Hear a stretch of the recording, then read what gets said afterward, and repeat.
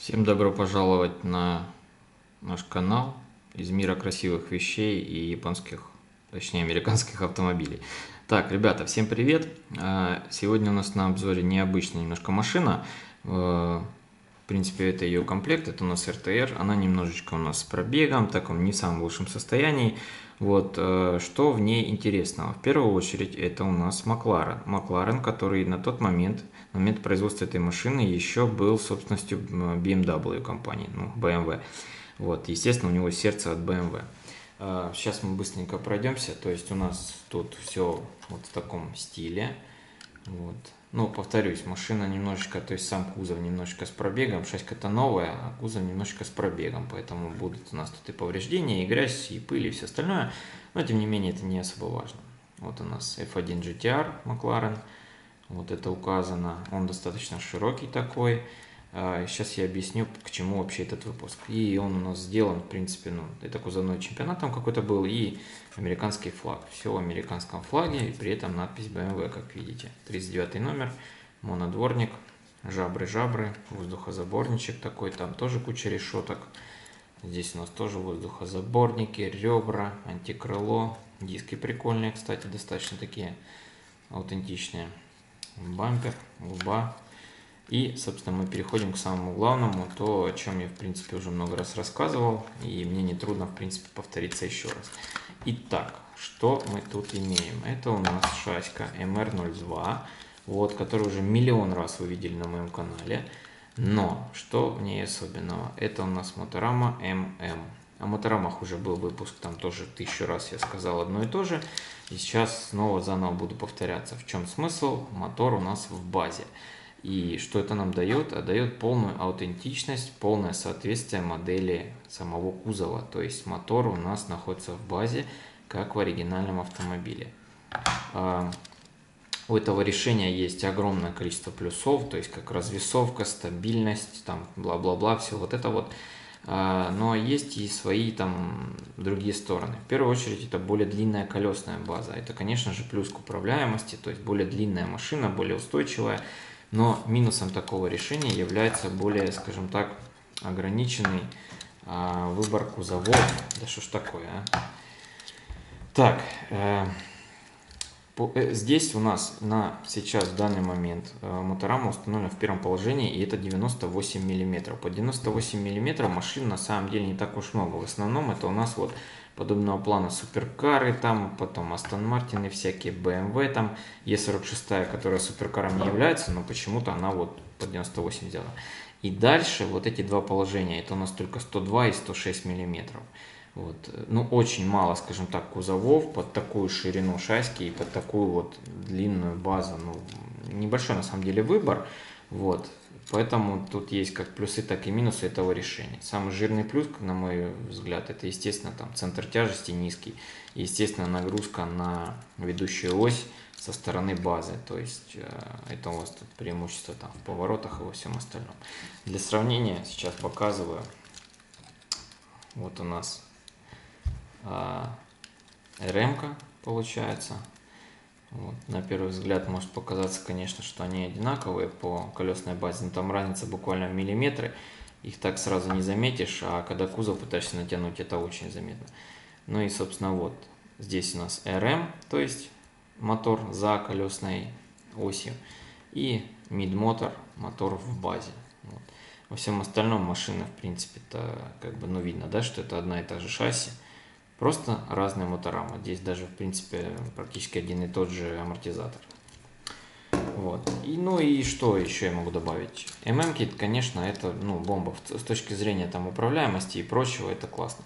Но и не лишены они своих минусов каких-то там. То есть, опять же, повторюсь, в плане выбора кузова. Во всем остальном э, круче самого MM по управляемости, ну, то есть круче в плане там стабильности, в плане там управляемости, послушности – то есть выше этого уровня, только уровень LM, когда мотор уже прям вот здесь вот торчит, грубо говоря, на полу лежит. Я об этом рассказывал много раз а, в выпусках там с предыдущих по поводу мотора.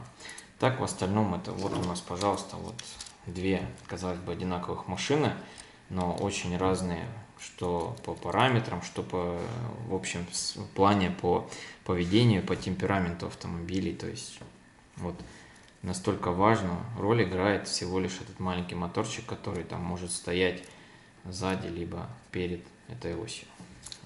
Ну а что касательно самого Макларена, Макларен, естественно, не один, их там несколько вариантов есть. Вот, есть э, подлиннее, то есть есть эта же модификация GTR, Макларен, я имею в виду, GTR, который с длинным хвостом, у него еще длиннее, то есть передний свес длиннее, задний свес длиннее. Вот. И, в принципе, вот этот вариант, это, наверное, один из таких, скажем так, характерных. Я вот еще коробку покажу с этой стороны, но мне ничего особенного там нету. А, суперкары – это основная, наверное, линейка, основная направленность э, кошек Mini Z была. То есть они изначально там были сначала простые машины, а потом пошли упор, упор, упор на суперкары, все больше и больше именно таких вот суперкаров было. Хотя всенародную любовь у нас, например, суперкары не, сыска, не снискали, потому что э, если бы сейчас здесь стояла там E46 BMW, которая у меня была уже как-то э, на распаковке, к сожалению, не попала на обзор, она бы, я думаю, гораздо была интересней. А самое главное, что она спокойно становится точно так же вот на эту шаську. Но вот это, в принципе, не особо там принципиальный момент. Тут, кстати, у нас три каких-то гонщика указано. Мексиканец, еще, наверное, какой-то латиноамериканский флаг и просто американский э, Салливан фамилия, чтобы это там не значило. Так, э, что еще хочу сказать по ММ. А, раз уж мы у нас тут сталкиваем лбами, что на коробке, что на, скажем так, сейчас Сейчас у нас кузовок катается. Раз мы уже решили столкнуть лбами а, две шаськи, точнее шаська одна и та же, две разных моторамы, что я хочу сказать этим вообще видосом. Наиболее, наверное, правильным вариантом будет, поскольку у нас 02 модель одна из самых массовых была на какой-то период до появления 03, наиболее таким универсальным вариантом, чтобы у вас прям все кузова остановились, но, естественно, широкие кузова, потому что, ну, то есть такого плана, да, Наиболее, наверное, правильным вариантом будет либо брать две шаськи себе в коллекцию, потому что, в принципе, ну, где одна кошка, там их и две, и три, и больше. Либо же покупать вот такой вариант, вот, что там 10-15 лет назад, что на сегодняшний день, если вы выбираете 0.2, конечно, а 0.3 мы как-нибудь потом поговорим. То есть выбирать такой вариант с такой моторамой, потому что у вас сюда сразу же станет BMW E46. Вот. И просто докупить мотораму RM. -ку. Все. Вы получаете а, грубо говоря, одну универсальную шасси, да, вот до сюда, до этой границы, это все одна машина, да, вот, но при этом вы получите огромную разницу по управляемости и огромный зазор, скажем так, по выбору э, длины колесной базы. Вот, то есть, если у нас ММ начинается от 98 миллиметров, да, то РМ, она на 98 уже заканчивается, это то есть крайнее положение, там 98. А здесь еще есть куда тянуть, там 102, 106, как я уже выше и сказал. Вот. Э, но, опять же, это вопрос того, какой у вас будет кузов. Вот. А так, в принципе, как бы, если вы там собираетесь на какие-то там чемпионаты, соревнования, еще что-то, либо просто пытаетесь э, свой скилл повысить, да, скажем так, то, наверное, все-таки ММ. Я бы делал выбор в сторону ММ, либо вообще ЛМ шасси. Но, к сожалению, их достаточно не так просто ж найти. Тем не менее, ММК довольно распространена.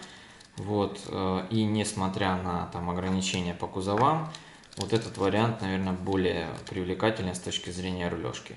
Но это все, конечно же, решать вам. Каждый решает сам для себя, что для него важнее, что для него нужнее, скажем так.